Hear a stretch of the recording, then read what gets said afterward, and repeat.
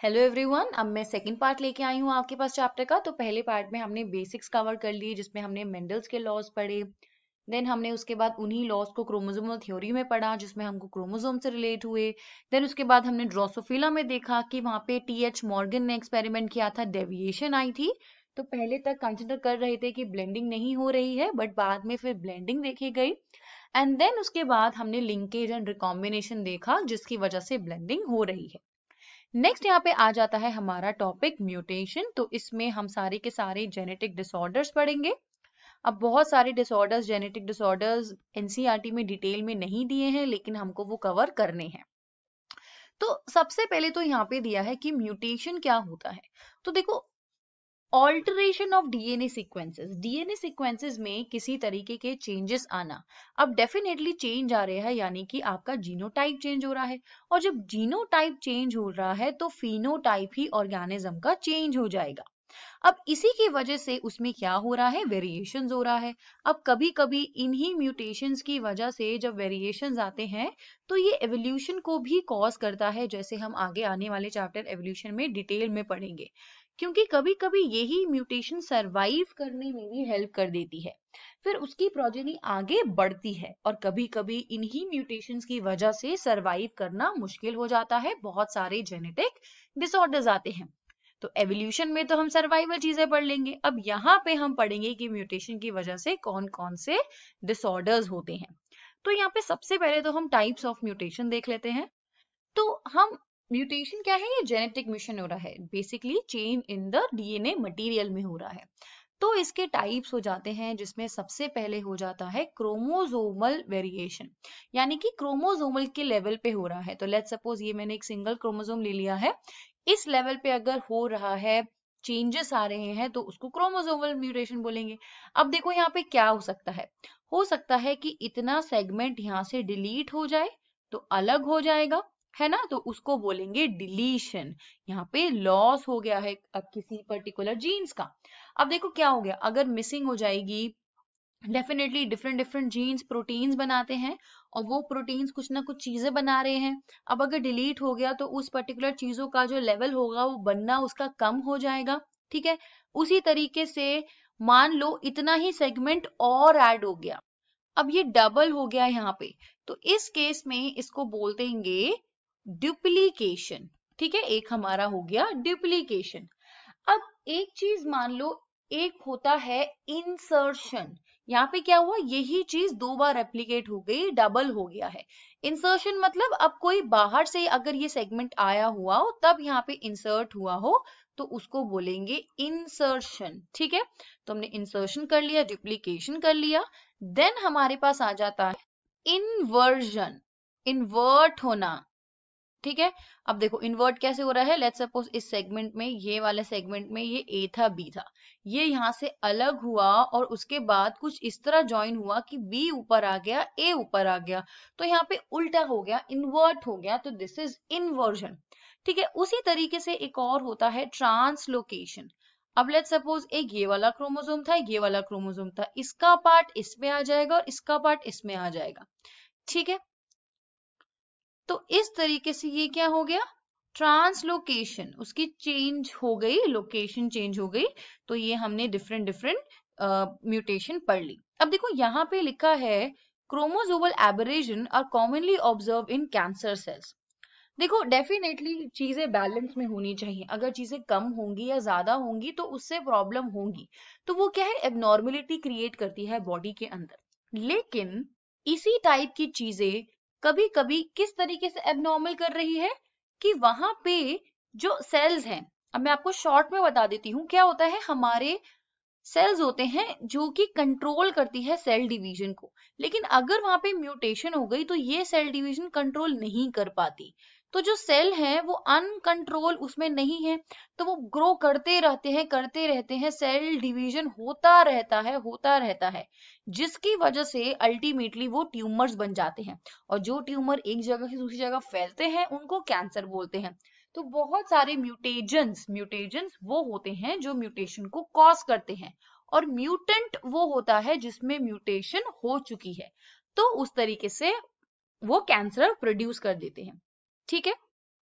अब यहाँ पे हमने एक नेक्स्ट लिखा है पॉइंट म्यूटेशन अब देखो, एक चीज़ और आ जाती है पॉइंट म्यूटेशन एंड एक आ जाता है हमारे पास फ्रेम शिफ्ट म्यूटेशन तो अभी तक हम क्या कर रहे थे? क्रोमोजोमल लेवल पे पढ़ रहे थे.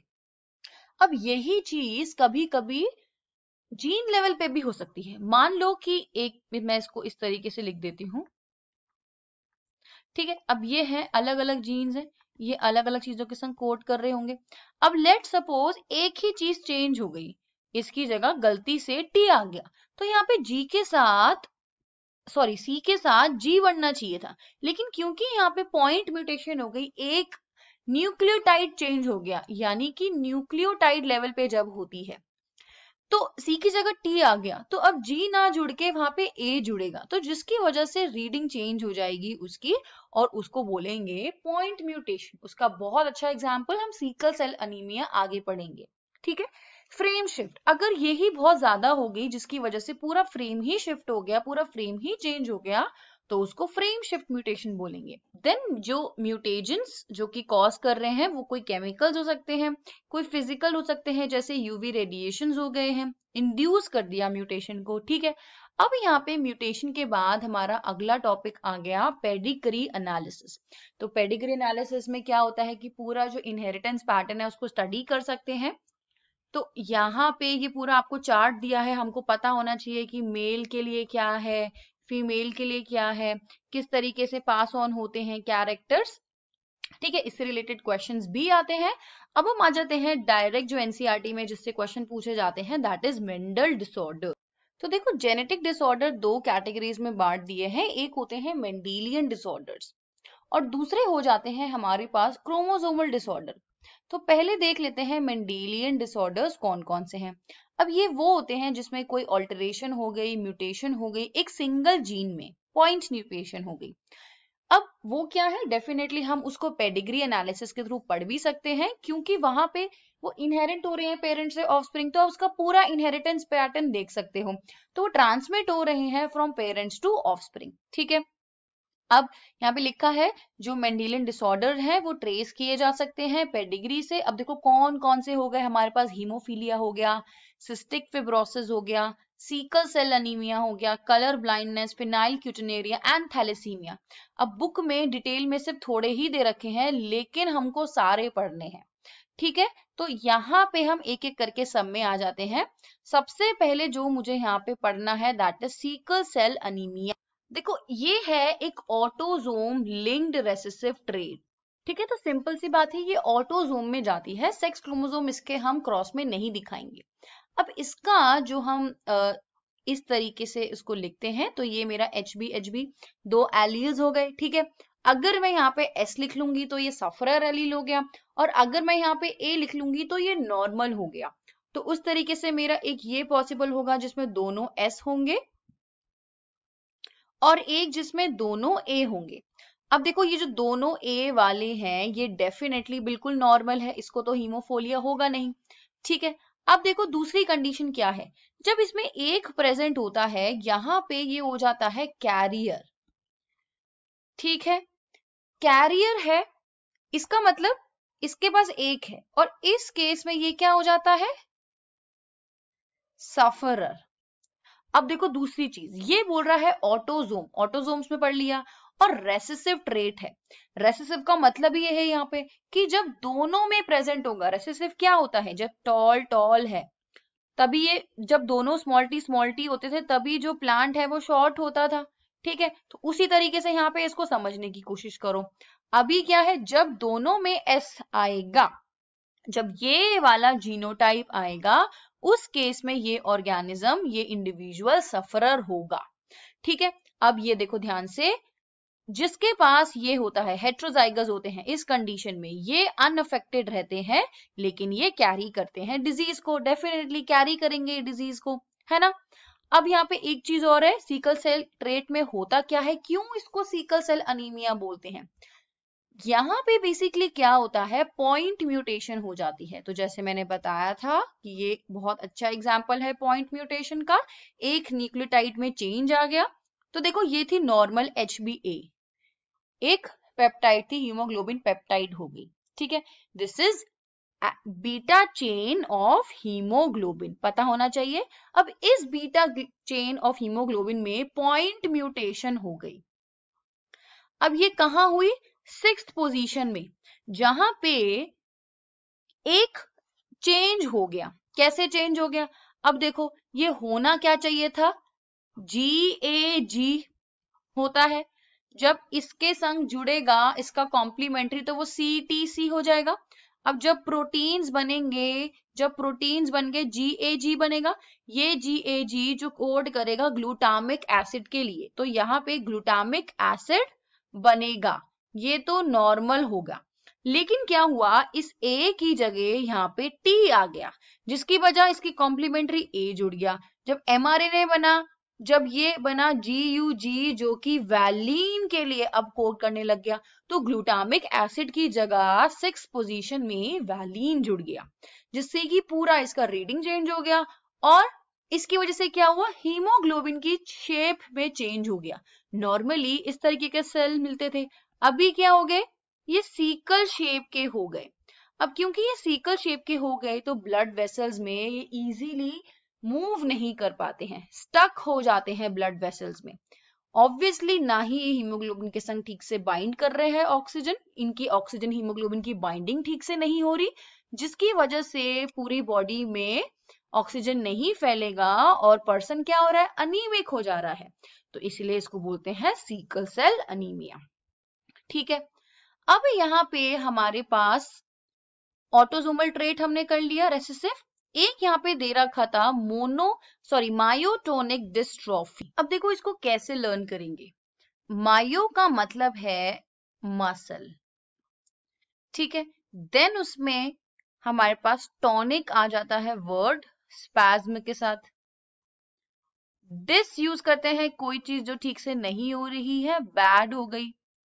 और ट्रॉफी यूज़ हो गया उसकी नरिशमेंट के लिए तो यहाँ पे नरिश तो ये एक ग्रुप ऑफ़ डिसऑर्डर होता है। तो अब इसमें क्या होगा, जो मसल होगी, वो बिल्कुल उसमें नरिशमेंट नहीं होगी, जिसकी वजह से वो काफ़ी वीक रहेगी। स्पैज्म होता रहेगा, बार बार उसमें कॉन्ट्रैक्शन होगा। देन उसके बाद रिलैक्स जब कॉन्ट्रैक्शन बार बार हो रहा है तो रिलैक्शन ठीक रिलैक्सेशन ठीक से नहीं हो पा रहा है प्रॉब्लम रहेगी। तो ये ग्रुप ऑफ़ डिसऑर्डर्स है। अब देखो, इसकी खास बात ये है, जैसे ये रेसेसिव था ना, ये भी है ऑटोजोमल में। ठीक है, ये एक्स वाई में नहीं है ऑटोजोम्स में ही है, लेकिन ये होता है डोमिनेंट ठीक है डोमिनेंट का मतलब अब लेट सपोज़ मैंने एक ये ले लिया ए ए अगर किसी को मायोटोनिक डिस्ट्रॉफी है तो लेट सपोज़ ये डी मान लिया। अब क्योंकि ये डोमिनेंट है तो अगर एक भी प्रेजेंट होगा ना तो ये कैरियर नहीं होगा, ये सीधा का सीधा सफरर होगा। अब ये देखो, ये जो मुझे पेडिग्री दे रखा है, ये ऑटोजोमल डोमिनेंट ट्रेट का है। हमेशा याद रखना डोमिनेंट ट्रेट में जेनरेशन स्किप हो जाती है। ठीक है, यहाँ पे देखो जनरेशन स्किप हो रही है, इसमें कोई नहीं है फिफ्टी परसेंट चांसेस है आगे पास होने के। यहाँ पे क्या है फीमेल अगर चाहिए कैरियर रही होगी, चाहिए सफ़र रही होगी, ये अपने पास करेगी। ठीक है यहाँ पे जनरेशन स्किप हो रही है। अब एक चीज़ देखो, जो ऑटोजोमल रेसेसिव है, जो अभी हमने सीकल सेल अनीमिया पढ़ दिया यहाँ पे कभी भी जनरेशन स्किप नहीं होती है। तो इस चीज़ का ध्यान रखना है पेडिग्री के टाइम पे। बाकी अगर आप चाहो, मैं एक वीडियो बनाऊँगी जहाँ पे हम पूरा पेडिग्री से एनालिसिस करेंगे। नेक्स्ट डिज़ीज़ हम करेंगे हीमोफीलिया अब देखो हीमोफीलिया को क्यून विक्टोरिया डिज़ीज़ भी बोला जाता था। क्यों? क्योंकि ये सबसे पहले देखी गई थी क्यून विक्टीरिया को हुआ था यहाँ पे। तो उनकी फैमिली की जो पेडिग्री एनालिसिस है, वहाँ पे हम देख सकते हैं कि किस तरीके से ट्रैवल हुई है। अब अगेन ये जो है, एक सेक्स्ड लिंग रेसेसिव डिज़ीज़ है। इस पर्टिकुलर डिज़ीज़ ये जब हो जाती है तो इसमें ब्लड क्लॉटिंग इफ़ेक्ट होती है। ब्लड ठीक से क्लॉट नहीं हो पाता तो अगर छोटी सी कोई माइनर चोट भी लगती है तो बहुत ज़्यादा खून बहता है। अगर कोई सीवियर इंजरी हो गई तो जिसके वजह से सीधा डेथ हो सकती है। अब ये डिफरेंट डिफरेंट टाइप का होगा। अब अगर मान लो कि एट क्लॉटिंग फैक्टर का है एट ए का है तो उस केस में क्या होगा? हीमोफ्यूलिया ए होगा। अगर नाइन क्लॉटिंग फैक्टर है, जिसको हम क्रिसमस फैक्टर भी बोलते हैं तो वो हीमोफीलिया बी होता है। ठीक है? इस केस में अगेन जो फीमेल्स होती हैं, वो काफ़ी रेयर होंगी सफरर क्योंकि ये रेसेसिव है तो कैरियर ही होती हैं। अब देखो ऐसा क्यों? देखो क्या होगा? ये एक्स एच है, ये एक्स अब ये सेक्स लिंक डिज़ीज़ है तो यहाँ पे मैं सेक्स क्रोमोसोम बना रही हूँ, ये एक्स वाई हो गया। अब देखो मैंने क्या बोला, यहाँ पे फीमेल कैरियर होती है सफरर बहुत रेयर होगी। क्यों? देखो, ये कैरियर हो गई यहाँ पे, ठीक है? और अगर लेट सपोज़ ये जो फादर है, वो नॉर्मल है। अगर नॉर्मल होगा तो अगेन यहाँ पे जो भी एक्स क्रोमोसोम आएगा जिसके पास तो देखो यहाँ पे क्या होगा? फीमेल तो ये वाली पॉसिबल है है ना? और नॉर्मल फीमेल भी पॉसिबल है। और अगर हम एच वाला देखेंगे तो हमें इस तरीके का मेल मिलेगा। ये क्या होगा? अब ये यहाँ पे सफरर हो जाएगा। क्यों? देखो, अब इसकी दोनों चीज़ें हैं। एक चीज़ तो ये, क्योंकि ये रेसेसिव है। अगर यहाँ पे दोनों ही एक्स पे होगा, ऐसे पढ़ लो तो तभी होगा वो डिज़ीज़ लेकिन एक चीज़ और है, देखो, ये चीज़ इस तरीके से भी देखो कि अगर एक एक्स पे है तो उसका काउंटर इफ़ेक्ट करने के लिए दूसरा एक्स होता है वहाँ पे। यानी अगर कोई एक खराब जीन है तो उसका असर कम करने के लिए वहाँ पे दूसरा एक्स है। लेकिन मेल्स के केस में क्या हो रहा है? अगर एक ही एक्स है अगर उस एक्स पे एक अफेक्टेड जीन हो गया तो डेफिनेटली वो फिर सफरर हो जाएगा। दूसरी चीज़ देखो यहाँ पे क्यों मेल और भी सफरर नहीं होती? अब देखो अगर इस तरीके से होगा तभी मुझे मेल सफ, फीमेल सफरर मिलेगी। क्यों? अब जाके जब इनकी क्रॉसिंग होगी, तब जाके मुझे एक इस तरीके की फीमेल मिलेगी, जिसमें डोमिनेंट होगा। यानी इस तरीके से मुझे मिलेगा, एक फादर से आएगा, एक मदर से आएगा। ठीक है, तब जाके ये सफरर होगी। पर एक चीज़ याद रखो, ये मेल जो था, वो सफरर था। तो ये उस रिप्रोडक्टिव एज में आ ही नहीं पाएगा, तब तक तो उसकी डेथ हो जाएगी, या वो रिप्रोड्यूस करने के लायक ही नहीं हो पाएगा कि वो इस तरीके की प्रोजेनी आगे पास करे। इसीलिए बहुत ज़्यादा रेयर होता है तो हमको ये पेडिग्री देखने को नहीं मिलता। नेक्स्ट हम डिज़ीज़ पढ़ते हैं। ये हमने ये वाली डिज़ीज़ पढ़ ली विच इज़ फिनाइल किटोनोरिया तो अगेन ये होता है एक ऑटोजोमल रेसेसिव ट्रेट ठीक है, इसमें भी म्यूटेशन होती है म्यूटेशन की वजह से ये पर्टिकुलर डिसऑर्डर होता है। अब यहाँ पे क्या होता है? फिनाइल एनिलीन जो कि एक बहुत इंपॉर्टेंट अमीनो एसिड है, वो बन नहीं पाता। देखो, ऐसा क्यों होता है? सबसे पहले ये देखो फिनाइल एनिलीन का काम क्या है? इसको मैं पीए लिख देती हूँ। ये जो है, एक अमीनो एसिड्स है, जो कि ट्रायोसिन में कन्वर्ट हो जाता है। ट्रायोसिन जब ये ट्रायोसिन में कन्वर्ट होता है फर्दर ये ट्रायोसिन न्यूरो में कन्वर्ट हो जाते हैं। अब यहाँ पे मुझे बताने की ज़रूरत तो है नहीं न्यूरो कितने ज़्यादा इंपॉर्टेंट है। हमारी ब्रेन तक सिग्नल पहुंचाएँगे ब्रेन की एक्टिविटी को काम करेंगे। तो जिसकी वजह से अगेन जो ब्रेन की एक्टिविटी है, वो ठीक रहेगी बेटर रहेगी। बट अब क्या हो जाएगा? ये नहीं हो पा रहा है ठीक से। ये जो फिनाइल एनालिन को ट्रायोसिन में बदलने वाली चीज़ होती है, वो एक एंजाइम होता है जिसको बोलते हैं फिनाइल एलानीन हाइड्रोक्सीलेज इस ऑटोजोमल रेसेसिव ट्रेड की वजह से, इस डिज़ीज़ की वजह से एक ऐसी म्यूटेशन हो जाती है क्रोमोनोमल में सिक्सटीन ऑटोजोम में, जो कि ये फिनाइल हाइड्रोक्सी सॉरी ये फिनाइल एलेनिन हाइड्रोक्सीलेज नहीं बन पाता। अब जब ये नहीं बन पाता तो डेफिनेटली फिनाइल एलेनिन आगे कन्वर्ट नहीं हो पाएगा, जिसकी वजह से इसकी क्या होने लग जाती है? एक्यूमुलेशन हो जाती है, ज़्यादा होने लग जाता है।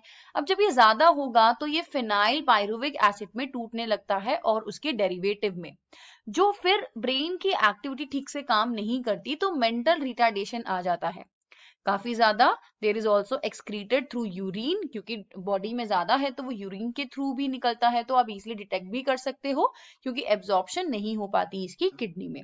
ठीक है? तो ये होता है फिनाइल क्यूटेनोरिया अब यहाँ पे एक और हमें डिसऑर्डर नहीं दे रखा है विच इज़ इंपॉर्टेंट और वो हम करेंगे विच इज़ थैलेसीमिया अब अगेन ये एक ऑटोजोमल रेसेसिव डिसऑर्डर होता है, ठीक है? जो रेसेसिव है तो इसका मतलब अगेन अगर ये दोनों में प्रेजेंट होगा इस तरीके से, तभी जाके सफरर होंगे। अगर इस तरीके से होगा तो ये क्या होगा? कैरियर होगा। और ये पर्सन क्या है? नॉर्मल है। ठीक है? अब अगर इस तरीके से होगा तो उस केस में वो पर्सन आगे मुश्किल होगा उसको रिप्रोड्यूस करना, क्योंकि ये अगेन एक ऐसी डिज़ीज़ है जिसमें जो पर्सन है, बहुत ज़्यादा अनीमिक हो जाता है। ठीक है? तो थैलेसीमिया हमारा एक ऑटोजोमल रेसेसिव डिसऑर्डर है। देन हम आ जाते हैं, हमने ये सारे डिजीजेस पढ़ लिए, अब हम पढ़ेंगे क्रोमोजोमल डिसऑर्डर्स में। तो अभी तक हमने मेंडेलियन डिसऑर्डर्स पढ़े थे, अब हम क्रोमोजोमल डिसऑर्डर पढ़ेंगे। अभी तक क्या हो रहा था? कोई म्यूटेशन हो रही थी, किसी सेक्स लिंक में या किसी नॉर्मल ऑटोजोम में, इस तरीके से हो रही थी। लेकिन अब कोई क्रोमोजोम में चेंजेस आ रहे हैं एबरेशन हो रही हैं, जहाँ पे उसका अरेंजमेंट चेंज हो रहा है। क्यों? क्योंकि यहाँ पे एक और ज़्यादा क्रोमोजोम या तो ऐड हो रहे हैं या सप्रैक्ट हो रहे हैं। तो ये दो वजह से होती हैं क्रोमोजोमल डिसऑर्डर एक वजह होता है इसका एन्यूप्लॉइडी एन्यूप्लॉइडी क्या होती है? जिसमें कम नंबर ऑफ़ क्रोमोजोम यानी कि एक आध क्रोमोजोम या तो ज़्यादा हो जाता है या फिर कम हो जाता है। फॉर एग्ज़ाम्पल ह्यूमन में कितने क्रोमोजोम होते हैं? हमारे पास 46 क्रोमोजोम होते हैं। अब ये 46 से 45 हो सकता है, ठीक है? एक कम हो गया, या ये 44 हो सकता है। सिमिलरली ये 46 से एक बढ़ भी सकता है 47 या 48 भी हो सकता है। ये तो नॉर्मल हो गया। जब ये एक कम हो जाता है तो इसको बोलते हैं मोनोजोमी ठीक है? जब दो काम हो जाते हैं तो उसको बोलते हैं नलीजोमी। जब एक एक्स्ट्रा आ जाता है तो कहते हैं ट्रायोजोमी और इसी तरीके से दो एक्स्ट्रा हो गए तो टेट्राजोमी और सो ऑन चलता रहता है। दूसरा एक कंडीशन आता है हमारे पास पॉलीप्लॉइडी ये क्या है? अभी एनिप्लॉइडी में less number of chromosome change हो रही थी। यहाँ पे पूरा का पूरा सेट ही क्रोमोजोम का चेंज हो गया। जैसे प्लॉइडी लेवल किसी ह्यूमन की टू एन ही होती है, अब मान लो ये फाइव एन हो जाए या सिक्स एन हो जाए, पूरे क्रोमोसोम का सेट ही कितना ज़्यादा बढ़ रहा है। उस केस में इसको बोलते हैं पॉलीप्लॉइडी। ह्यूमंस में देखने को नहीं मिलता, क्योंकि पॉसिबल नहीं है वो सर्वाइव करे तो ये प्लांट्स में देखे जाता है, जैसे वीट प्लांट में देखा जाता है। तो सिंपल सी चीज़ है लेट सपोज़ अगर गैमीट्स बनते वक्त टू एन डिस्ट्रीब्यूट नहीं हुआ तो यही टू एन बाद में जब एक दूसरे टू एन के संग कंबाइन हुआ तो फोर एन बना दिया टेट्राप्लॉइडी हो गई उसकी। तो यहाँ पे पूरा होल सेट चेंज हो गया क्रोमोजोम का, ठीक है? तो यहाँ पे हम जो इंपॉर्टेंट डिसऑर्डर्स पढ़ेंगे, उसमें Down syndrome Turner syndrome Klinefelter ये पढ़ेंगे। तो सबसे पहले आता है हमारे पास डाउन सिंड्रोम अब देखो डाउन सिंड्रोम ट्राइजोमी का कंडीशन है। ट्राइजोमी में क्या होता था? एक एक्स्ट्रा हो जाता था ट्राई हो जा रहा है, ठीक है? तो 46 क्रोमोजोम होते हैं और अब ये 46 कैसे होते हैं? 44 तो ऑटोजोम्स होते हैं और उसके अलावा दो सेक्स क्रोमोजोम होंगे। या तो एक्स वाई होगा या एक्स एक्स होगा। इसमें, अब ये देखो, ये चीज़ें इंपॉर्टेंट है, ये डिस्क्राइब किया था लैंडन डाउन ने। इसीलिए इसका नाम था डाउन सिंड्रोम कब किया था? 1866 में। इसमें एक एडिशनल कॉपी आ जाती है क्रोमोजोम की। कौन से? क्रोमोजोम नंबर 21 तो ये सेक्स क्रोमोजोम में नहीं आती। यहाँ पे ऑटोजोम में ट्वेंटी फ़र्स्ट क्रोमोजोम में एक एक्स्ट्रा कॉपी आ जाती है। अब जिसकी वजह से क्या होता है? शॉर्ट स्टेचर्ड रहता है हेड जो है वो राउंड रहता है, ये इंपॉर्टेंट है। टंग फरोड रहेगी, अंदर की तरफ़ गड्ढा रहेगा, उसमें पार्शली ओपन रहेगा, जिसकी वजह से सलाइवा निकलता रहता है। अगर हाथ का आप पाम देखोगे तो वो ब्रॉड होगा क्रीजेस होंगी अलग ही टाइप की। Psychomotor activity mental retard mentally retard हो ब्रेन काम ठीक से नहीं करेगा फिजिकली ठीक से काम नहीं कर पाओगे। नेक्स्ट आ जाता है क्लेन फेंटर सिंड्रोम अगेन ये भी एक जेनेटिक डिसऑर्डर है, जिसमें एक एडिशनल कॉपी आती है एक्स क्रोमोजोम में। अभी क्या हो रहा था? यहाँ पे ऑटोजोम में आ रही थी। अब यहाँ पे एक एक्स क्रोमोजोम एक्स्ट्रा आ रहा था। तो यहाँ पे 44 के साथ एक एक्स क्रोमोजोम एक्स्ट्रा आ गया तो ये एक्स एक्स वाई कंडीशन हो गई। ठीक है? अब ये देखो, इसमें, अब जैसे अगर फॉर एग्ज़ाम्पल एक एक्सक्रोमोसोम एक्स्ट्रा है तो जिन मेल्स को ये होगा तो उसमें फेमिनाइन कैरेक्टर्स आ जाएँगे। अब देखो, ये वेरी इंपॉर्टेंट गाइनोकोमैस्टिया इसमें डेवलपमेंट ऑफ़ ब्रेस्ट हो जाती है इन केस ऑफ़ मेल्स वो इंडिविजुअल्स स्टेराइल रहते हैं रिप्रोड्यूस नहीं कर पाते। लास्ट आ जाता है टर्नर सिंड्रोम अब इस सिंड्रोम में क्या हो रहा है? एक एब्सेंस हो जाती है, ठीक है? तो अभी तक क्या कर रहे थे हम? ट्राइजोमी कर रहे थे, एक्स्ट्रा पढ़ रहे थे, यहाँ पे मोनोजोमी की कंडीशन आ जाती है। तो 46 की जगह 45 क्रोमोजोम हो जाते हैं।